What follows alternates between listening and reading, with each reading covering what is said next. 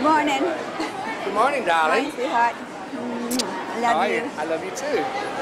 Okay, let's get with it. Mm, You look so pretty. Good. See you out there. One of our members had an appendix taken out last Wednesday, and we're getting our card. Would you like to sign it too? Who was it? Good morning. Good morning. You look absolutely Thank beautiful. you. Thank Good morning. Okay. Love you, Mary Kay. Love you too. God bless you. God bless you. On with the show. Every time I see you, you look better. Every Thank time I see you, you must be living right. Your eyes are getting dimmer.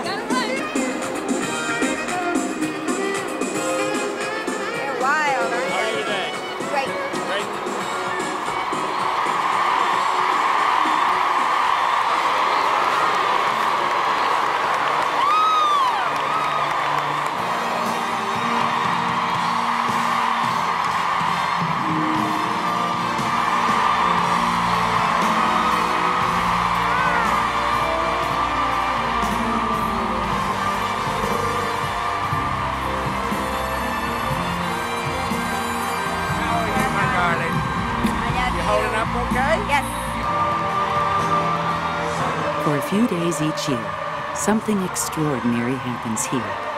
This stage is transformed into an elaborate festival of magic and delight. Who is this woman whose dream touches thousands of others and changes their lives forever?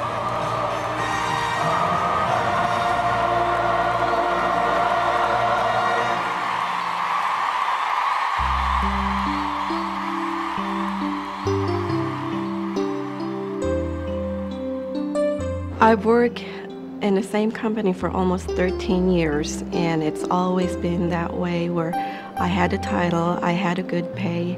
Others would consider that a good pay, but there's always that glass ceiling, and that's it for me. It's kind of like a plateau and a dead end. But with Mary Kay Cosmetics, there's always the honor and the glory and the praise, the accolades, the fun, and there's no limit to where you can go with Mary Kay. that here was a woman who retired from one direct selling position, developed a company, and made it respond to the needs of women.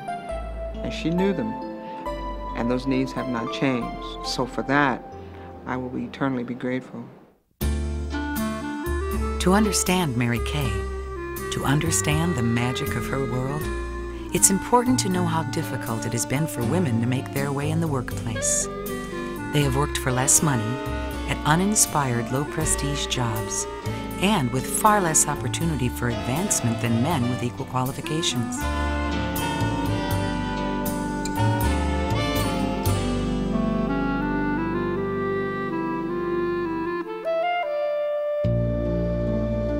But every once in a while, even as early as the 30s and 40s, a woman would come along who was blazing her own trail, making her own opportunities in a male dominated world. Certainly came at the right time. I just got the little ones to take a nap. Oh, I know all about that. Let's face it, of all the jobs in the world, being a parent is the most important. Don't you agree? I couldn't agree more. Thank you. But there's no school or academy where you can get a degree in being a mom or dad. It would be easier if children came with a set of directions. They do now. These books offer advice on how to help children grow up with the right values at a price everyone can afford. I wish I could really use these. But I could no more afford them than fly to the moon. I know it's hard, but listen to me. You only have to pay a little each month. They're still way out of my league. They look wonderful. I'm sorry. Look, you sound like you really want these books. I do, and I bet I know some other people who would too. Do you think you could sell books like these? I could try. I tell you what, you sell 10 sets for me, and I'll give you a set free. Wait a minute. All I have to do is sell 10 sets. That shouldn't be too hard. Okay. Is that your car outside? It's my husband's. I don't drive. I never learned how. I'm going to leave these here. You look them over. I'll come back on Monday. Make sure that car is here. And honey, you and I are going to sell some books. That sounds great.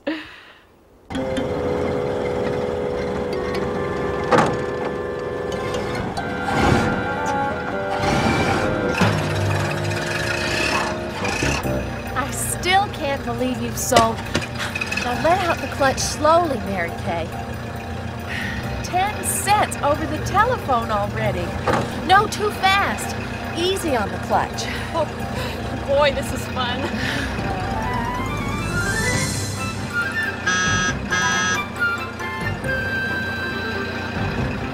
Well, I found that I really loved direct sales. I loved the freedom that I had and being able to manage my own time. And being in direct sales meant that I could be gone just three or four hours at a time, and it gave me the opportunity of being able to be back with my kids when I needed to be quickly, which was very appealing to me. Hi, I'm Mary Kay. I loved the fact that I could make the kind of money that I did in a small amount of time, and I decided this is something I wanted to do for the rest of my life. Mary Kay was a natural. She didn't really sell. She offered an opportunity for people to be better parents, something everybody wants to be.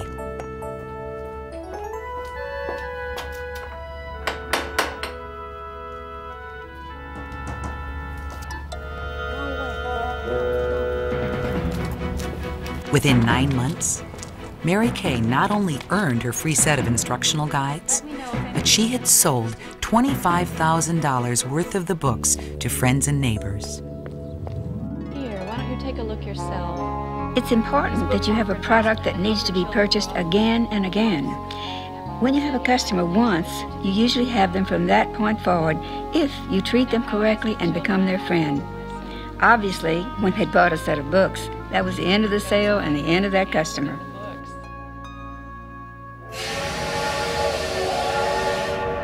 Mary Kay discovered Stanley Home Products.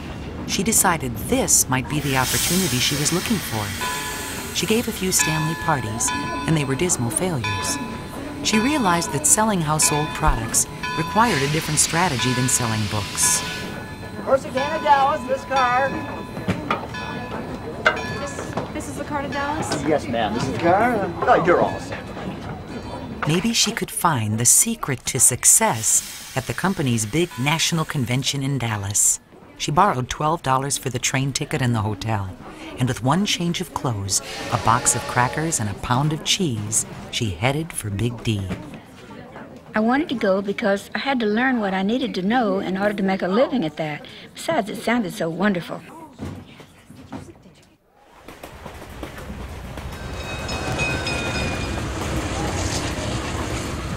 I lost a few friends in the process of trying to borrow that $12, but finally I got the money.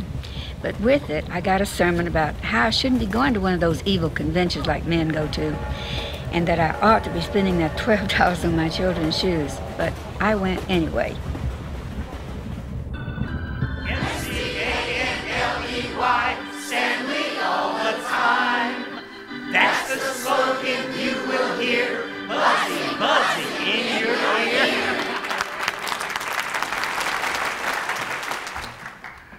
And now the moment you've all been waiting for. It is my great honor to announce this year's Stanley Home Products Queen of Sales, Lavita O'Brien.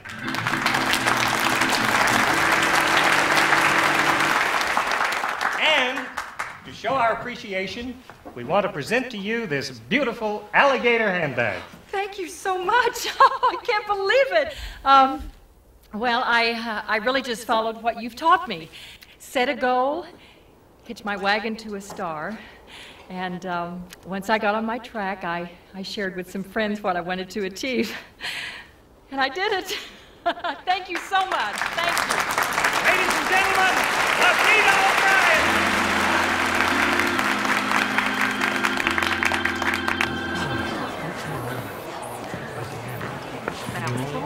Mr. Beveridge, next year, I'm going to be the queen. You know, somehow I think you will. Oh, it's so good to see you. Lavita. You. Yes. I just think you're terrific. Oh, thank you. I wonder if one evening while we're here, would you put on a Stanley party in your room and show me what you do? Because obviously I'm not doing the right thing. Oh, of course I will. How about tomorrow night? Thank you so much. That would be wonderful. Hello?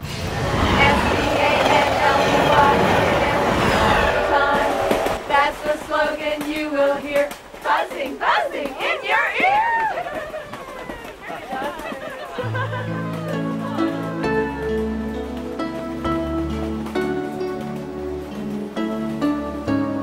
persuaded the woman who was Queen of Sales to put on a Stanley party.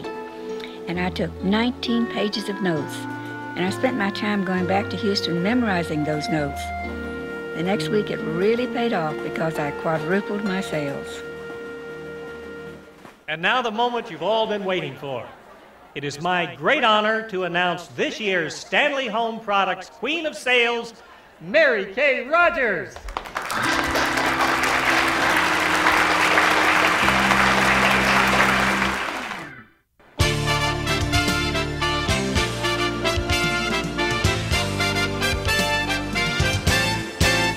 Years later, Mary Kay's stage would rival the glamour of Broadway.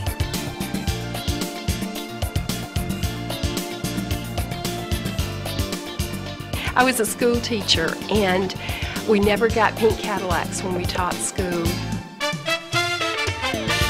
The feeling of that recognition and knowing that everybody knows what you've accomplished, and just the feeling it inside, just makes you feel even more on top. And once you, you just want to keep going.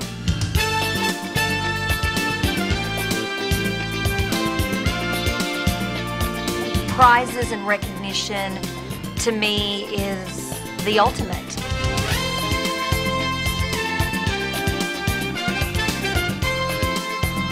We have a company car, but it's a little special in terms of the way that we, we earn it because it becomes a symbol of achievement. I came to my first seminar, and when she walked out on the stage, I thought Elvis walked in the room. The cheers and the crowds and the people rushing the stage. Then I realized what a difference she had made in all of these people's lives. Well, hello. Hello. Miss Lookalike. Are we ready? That's a little low. little low, little low. Let me see how you look. Oh, you look sweet. That's how you look. Okay. Perfect. Perfect. Where's your necklace? It's in my bag. Good. Okay. All right. Your turn. One Now, down. now, who do you want to look like today? Her. Yeah, let's turn this thing around. Let me look like her now. All you gotta do is take off 50 years. So get with it. It's gonna take a while. Grandmother called me one day and said they're doing a skit where they want to look alike. That was my granddaughter Gina.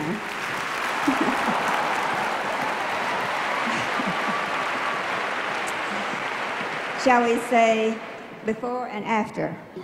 Before what and after what? Yeah, right. Before there was a Mary Kay Cosmetics, while working for Stanley Home Products, Mary Kay was discovering the ingredients of success she would someday bring to her own company. Which would be better, Wednesday or Friday? Oh, that's too bad. Uh, I'll call you next month. I'd love to demonstrate it for just the three of you. Don't worry if they can't all come. Some of my most successful parties have been with just a few people. You recruited two people, that's great. I'm so proud of you. now we have to get those two people to recruit two more people. Uh-huh. See you soon. Bye-bye. Don't let him get the best of you. Settle down, boys. I'll be home in three hours. Here's the number where I'll be. They can have some of those chocolate chip cookies you baked for them after they finish their homework. I love you. Richard, shouldn't you be in bed? I'm waiting for my mommy. Well, goodness. That's Mary Kay's son. Where is she? She's at a party. Oh, a party. I see.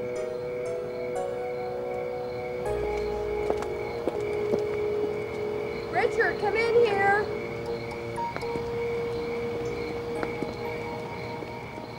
Yeah. I'm interested in that.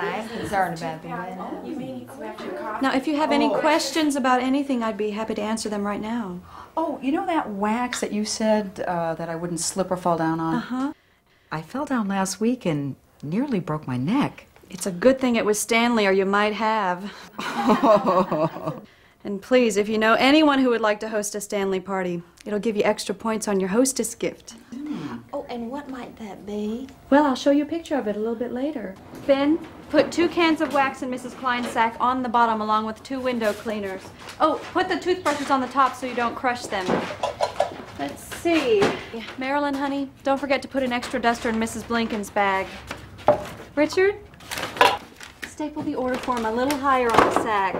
Richard says he was born in direct sales, and he says that because even at the ripe old age of three, he was helping us fill Stanley orders in the garage. And the other two kids helped with filling those orders too. This was sort of a family ritual every Saturday morning. We filled all the orders I'd sold during the week, and then we delivered them. And afterwards, the children counted the money to see how much we'd made. Look, I got all gold stars this week. That means I get all my allowance. No, you don't. 'cause You didn't wash the dishes on Thursday. Yes, I did. No, you didn't. Did we get enough money to go to the movies this week? I hope so. In the early 1950s, Mary Kay left Stanley for another sales position. Her hard work and talent brought her into the company's boardroom.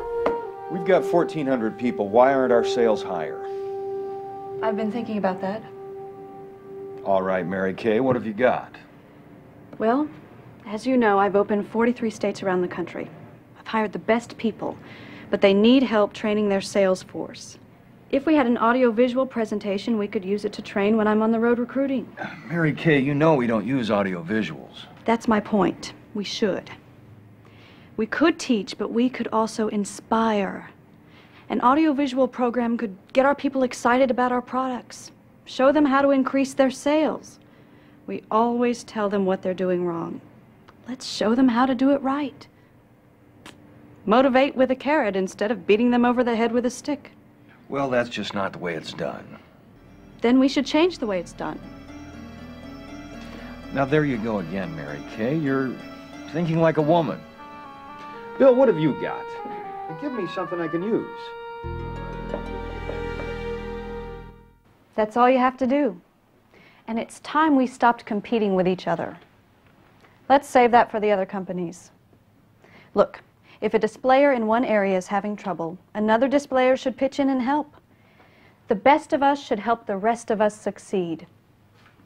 So get on out there and do your best. I know you can do it. All right. Sounds great. In time, still at the same company, Mary Kay had trained, motivated, and supervised one of the best sales teams in the business. She watched as many of the men she had trained went on to successful careers, men who were paid twice her salary. Going to do it.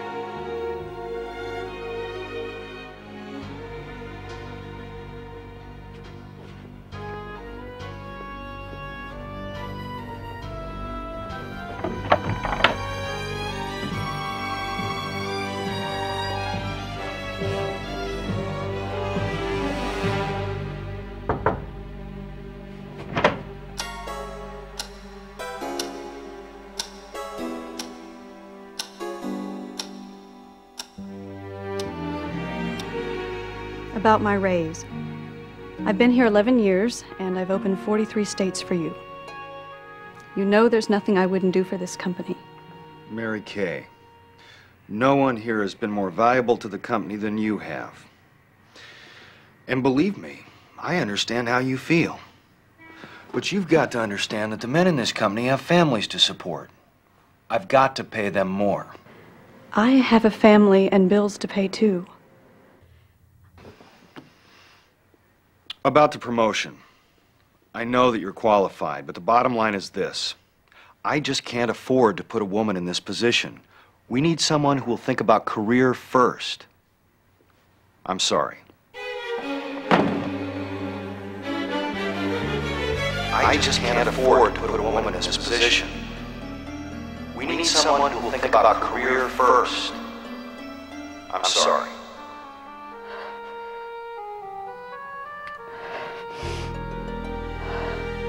I thought, this is it, I've had it. And it, to me, it was like a death because I, I could not believe that I would no longer be connected with this company to whom I'd given so much. And I, I felt very devastated, very sad. And I went home and I remember that I cried all night, and if I had had the opportunity the next morning to come back, if they had called me, I would have gone back, chances are. But they didn't call. All those years I gave to the company.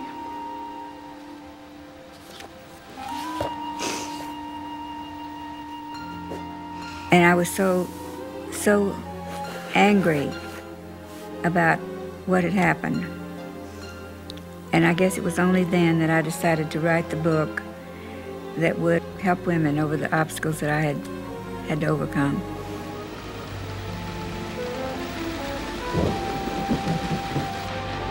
I didn't know how to write a book, and so I had to use a legal size pad. And all I did to organize my thoughts was to put down on one pad everything good that the two companies I had been with had done.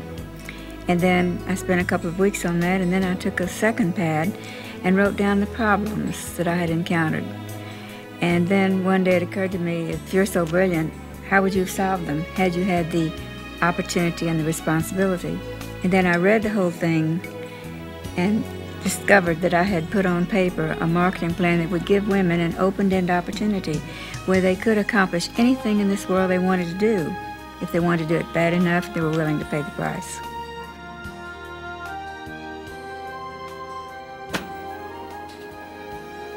A company that will give women the opportunity to be the best that they can be. And so the company was born. I felt that I had to get a product that a woman could use and believe in and uh, recommend to other people and would have enough confidence in her ability that she could sell that product. So I thought a lot about a lot of things. What could be used as a product? And decided that since it had to be something women could believe in, and most women feel they are cosmetic experts at age 20, why not cosmetics?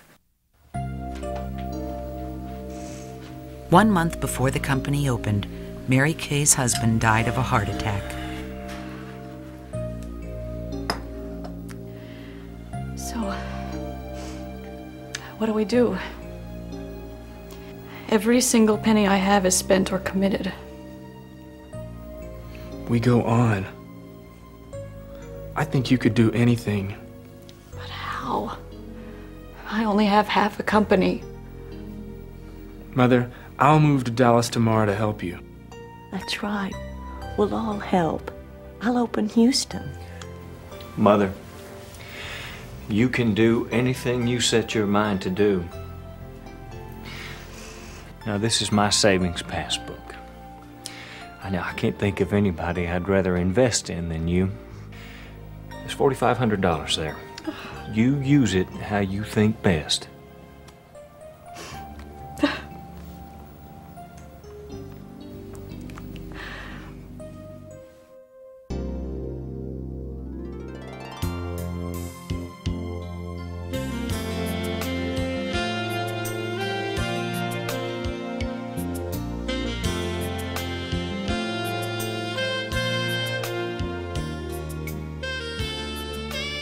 September the 13th, 1963, we opened our doors as planned. And nobody starts a company on Friday the 13th, but we did because that's the day the lease started. And Richard was um, helping to fill orders, which of course we didn't have at that point. We had the small Sears Roebuck 9.95 shelf and one layer of cosmetics. That was it. Marilyn, on the other hand, went off to Houston and began trying to sell through the class outline that I had given her of how she should do this. Later on, as Ben joined us to be the warehouse manager, we would be up till 2 or 3 o'clock in the morning putting out a newsletter, and we did it with one of those old mimeograph machines. I would write it, and they would print it, and then we would all stuff envelopes and mail these things out.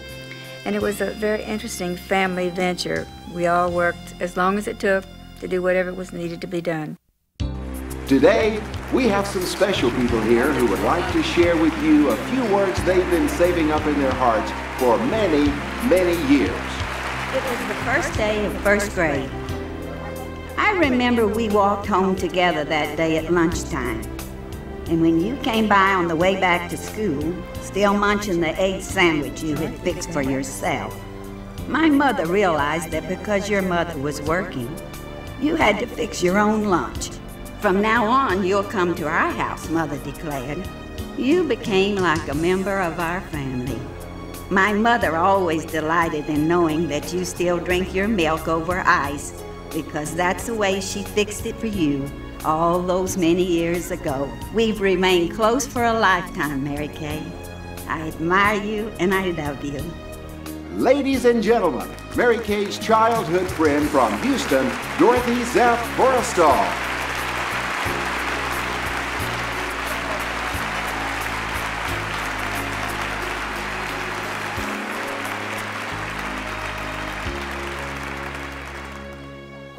First time, I'm speechless. Thank you for all of you for what you've meant to my life. And God bless you. Dorothy's right. I used to eat her breakfast every single morning. She was one of those little kids, you know, who just wasn't hungry ever. And her mother had her hair in little, lovely little pig, little curls. I used to wear them little curls. And she had those darling, she had little starched pinafore and looked so cute. And here was Mary Kay in that sugar bowl haircut. Washing wear dress before they were washing wear because if it got ironed, I had to do it. And she looked so perfect all the time, and my goodness, what memories.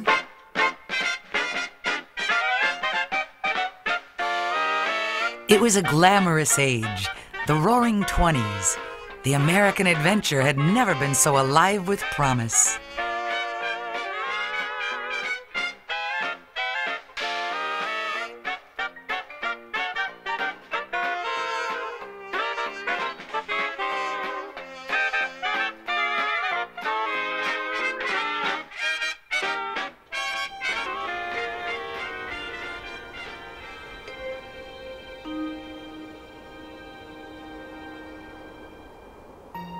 But to a young girl in Houston, Texas, that adventure seemed very far away.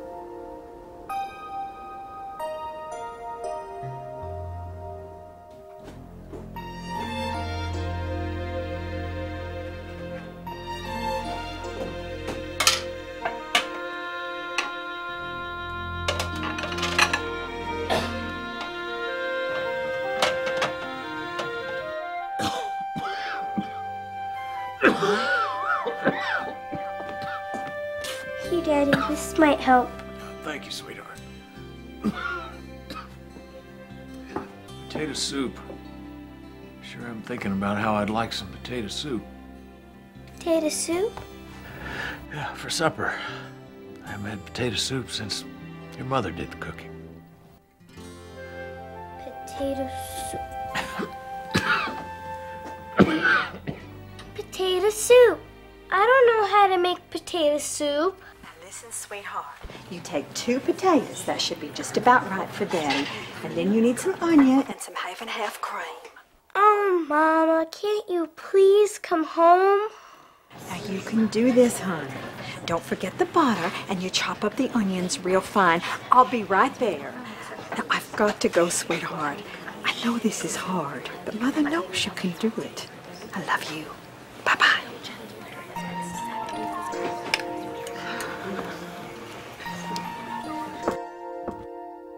I said when I was talking up there that you're a living example of what you believe.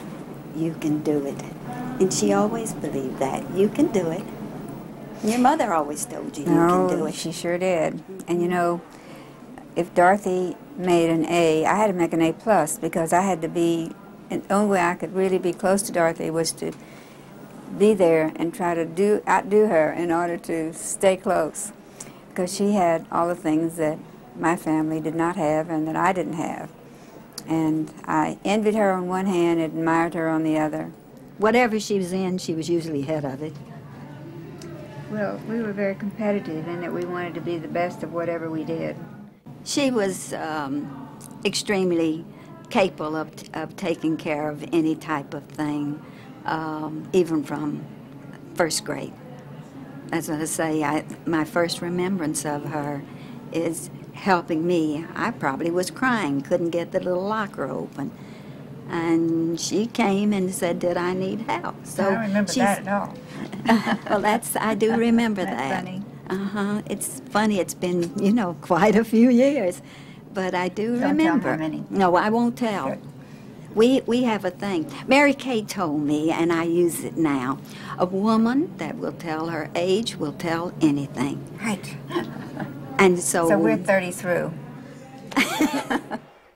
America's participation in World War I became essential to the winning of the war. Thank you. Mary Kay was an exceptional student and made friends easily.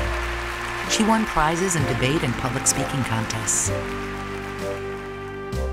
She graduated at the top of her class. Then it was time for that long awaited rite of passage college. This is so pretty. I know. Okay, I'm so nervous. Dorothy, don't worry. You're gonna conquer the world.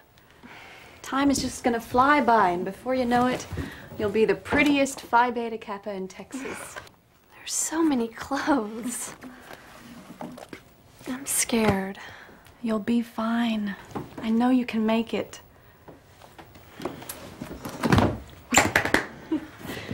oh, you can carry this suitcase. You can do anything. Okay. I'm ready. Are you ready? Ready. Oh, don't forget this.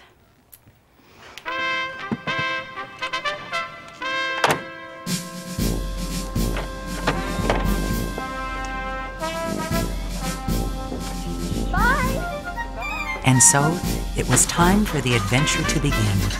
They were off to college. All, that is, but one.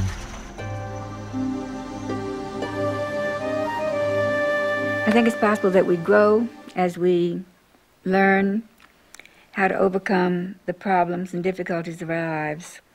And I'm sure that having overcome so many things in my life that were very difficult, that I have been able to impart that to women as how they, with their struggles, can use those struggles to grow and perhaps become better than they ever thought they could be.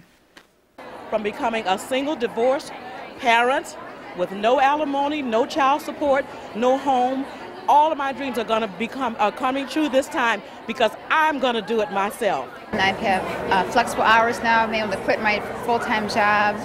And when you work for yourself, you get paid the kind of money that you deserve to, which is very exciting.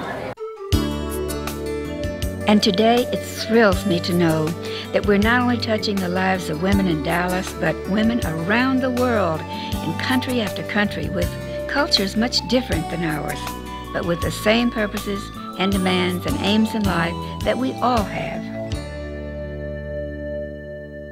Are you ready for the most exciting night of your life? Good. Because you see, tonight is the night when dreams come true. This is in case you get cold up oh, here. Oh, thank you. I'll bet you've already spent it. Okay, I'll pay for the sit up. Isn't it the place to be? Yes, Thank you so mm, much. Thank you. In Cleveland, Ohio, many Cleveland, years Ohio, ago, you said to me, Nina, get a car, and I did. And? Nina, get to be a director, and I did. Now tell me something else. Be a national, and you yes, do. All right, I will. I was um, working on my master's degree and um, coordinating a job training program for young adults, and now I get to make the money, um, the wonderful money in Mary Kay, but I still get to volunteer and do that type of work. But I was very unhappy in my job. I was giving, giving, giving to a lot of people, but I really wasn't receiving the things that I needed. And Mary Kay allows me to be able to help people and still give, but also be able to um, live a wonderful lifestyle.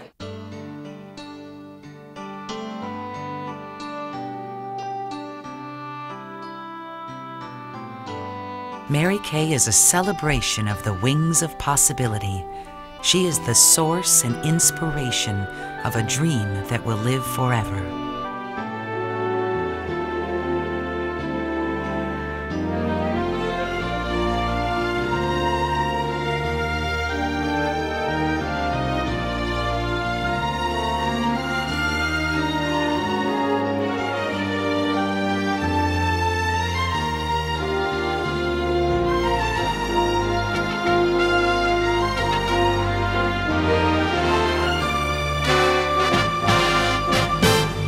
Often asked the question, how would you like to be remembered? And I guess it's as someone who helped women to understand how great they really are.